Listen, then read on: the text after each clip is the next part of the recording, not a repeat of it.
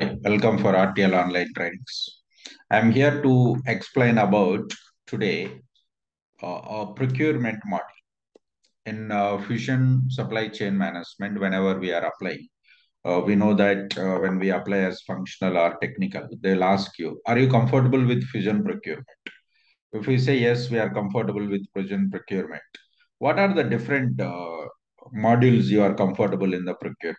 Generally, what we think is procurement is a a single module. But when it comes for procurement in Fusion Cloud, it's a group of modules. It's a group of modules. What are those modules we are going to discuss here? So Fusion procurement means it comes with first purchasing. First is a purchasing. In purchasing module, we know that we'll be talking about requisitions, purchase orders, RFQ, quotations. These all will be discussing. Then after completion of the purchasing, then we will find self-service procurement. In self-service procurement, we'll be talking about the catalogs, punch-out catalogs, right? And then we'll be talking about uh, local catalogs, informational catalogs, content zones. This is all how the requisitions will be raised by using self-service procurement. Then we will find the sourcing documents, like how the sourcing rules will be defined how the sourcing documents like RFQ, two-way and three-way, these all are going to be specified here. It is sourcing. Another one is procurement contracts. In purchasing model, we have standard purchase orders, blanket purchase agreement, contract purchase agreement, this all right.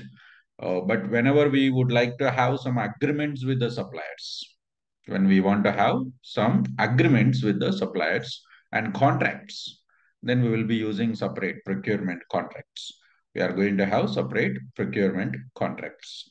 And then we have supplier portal. So supplier portal is uh, mainly tool which we will be using to communicate with the supplier as well as the buyer because we will send the purchase order to supplier then supplier also can request us to make some changes in the purchase order.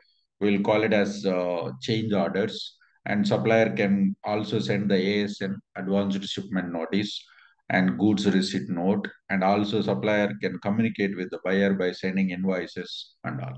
So these are uh, main five five products. It comes as a procurement. Then only we will call it as uh, oracle fusion procurement okay so if you are clear with only purchasing module then you can mention that clearly I am flexible with purchasing model implementation as a functional consultant or a technical consultant, whatever we have. Okay. So if at all we are going to say that I am perfect in the procurement module, definitely they will be expecting all these modules. Okay. So what are the modules we have in the procurement in Fusion Cloud? We have sourcing module, we have self-service procurement, we have purchasing, we have procurement contracts, and also we have the supplier portal. So whenever we combine all these five modules, then we will call it as procurement. Purchasing module is uh, lengthy, it takes time, but self-service procurement, sourcing, supplier portal, and procurement contracts, not that much uh, complexity. Uh, as soon as we learn purchasing, then the remaining all are just having some functionality and integrate with our modules. Okay. And we have something called spend classification, analysis, and performance management. These all are technical side. Like we will find some BI reports, OTBI analysis, some infolets. These all are going to be dashboards. It is going to show the procurement uh, information like analysis so that the uh, management side, uh, higher level management, they can view the information very clearly in the graphical format also according to their requirement. So that's what we call it as Oracle Fusion procurement. So most of the people, uh, procurement and purchasing both are same. They might think, but it's not. Purchasing is a part of procurement. Purchasing is a part of procurement. Okay. Thank you.